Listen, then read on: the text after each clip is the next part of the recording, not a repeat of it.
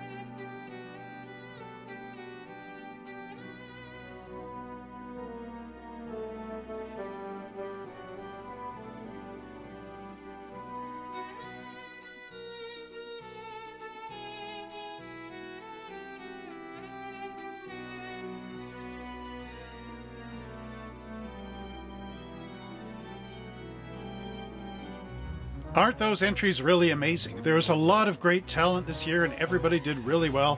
So again, thank you for entering. So now let's find out who the winner is. And we have actually gathered up a special group of judges all the way from Transylvania, Romania. We're just awaiting the letter. Oh, oh, what's this?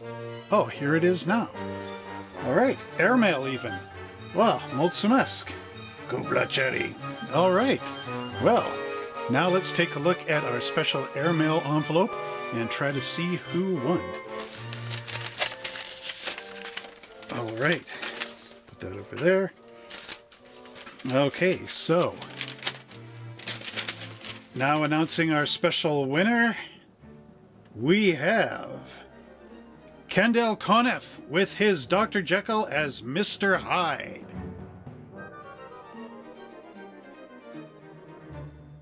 So congratulations to Kendall, another great amazing model, and I hope you enjoyed this year's contest.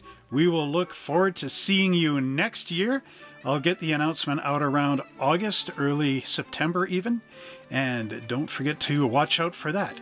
So until next time, boils and ghouls, happy model building, and we'll see you in Build a Monster 2024.